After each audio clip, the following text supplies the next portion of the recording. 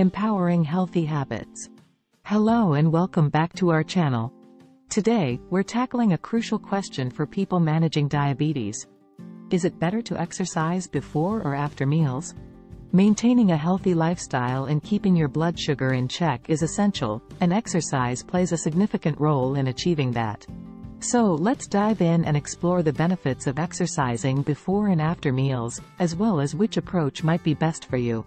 Exercise and blood sugar control. First, let's talk about why exercise is important for blood sugar control.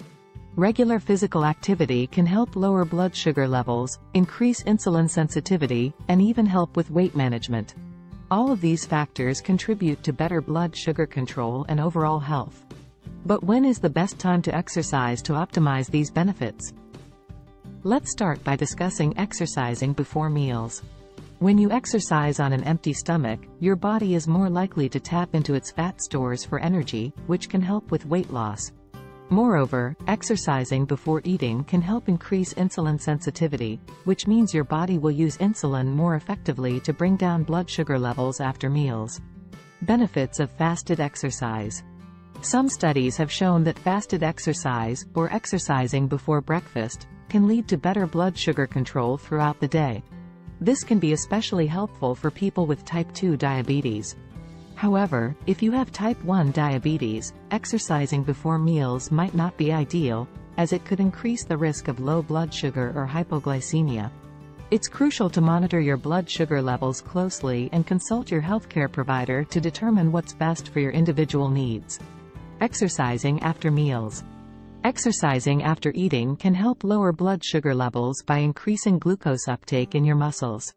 This is particularly helpful for people with type 2 diabetes, as it can aid in reducing post-meal blood sugar spikes.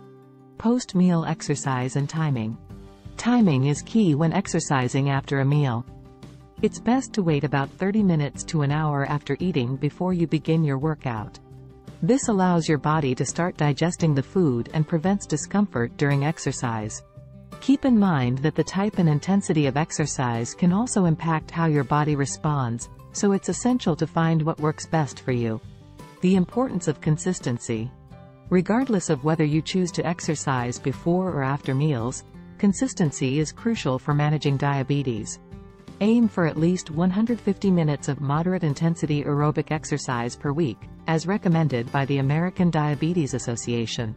This can include activities like walking, swimming, cycling, or even dancing. Individual factors and preferences. It's important to remember that everyone is different, and what works for one person may not work for another. Factors such as age, fitness level, and the type of diabetes can all influence how your body responds to exercise. Additionally, personal preferences and schedules play a role in determining the best time to exercise. Consult your healthcare provider. Before making any changes to your exercise routine, it's essential to consult your healthcare provider. They can help you determine the best approach based on your individual needs and medical history. They may also recommend adjustments to your medication or insulin regimen to ensure that you maintain optimal blood sugar control. Trial and error. Ultimately, finding the best time to exercise may involve some trial and error. Monitor your blood sugar levels closely before and after exercise, and keep a record of how you feel. This can help you and your healthcare provider identify patterns and make necessary adjustments. To wrap up, both exercising before and after meals can provide benefits for managing diabetes. The best approach depends on your individual needs, preferences, and the advice of your healthcare provider. Remember, the goal is to incorporate regular exercise into your routine in a way that aids in blood sugar control and promotes overall health. Stay active, stay informed, and keep moving towards a healthier you. Thank you for joining us today, and we hope you found this information helpful. If you enjoyed this video, please give it a thumbs up and subscribe to our channel for more helpful advice on managing diabetes. Remember, we're in this together, and your health is our priority.